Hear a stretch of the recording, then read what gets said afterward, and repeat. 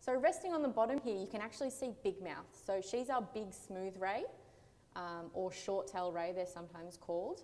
Um, you find these guys kind of all along the coast of New South Wales, um, right down almost south to Victoria. So they prefer the cooler waters. Um, you can find them right up to Southwest Rocks and Seal Rocks and places like that. But as you can see, we're just focusing on her tail at the moment. So a lot, most species of stingray will actually have um, a barb, which is what they use as their defense mechanism. So you can see big mouth along her tail, there's kind of a section where it goes up a little bit. That blunt section is actually where her barb starts. So normally their barbs are really pointed um, and they kind of would use them as almost like, they look like almost like a needle. Um, however, because we did move Big Mouth a couple of years ago, we moved her into a different, this exhibit from a different exhibit. Um, we actually trimmed her barb, so that's why it's actually cut off at the end. And this was just for the safety of her and also for ourselves.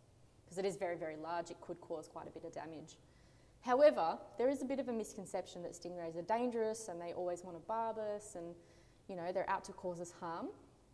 And that's actually not the case at all. So they'll actually only use that barb as a very, very, very, very last line of defence.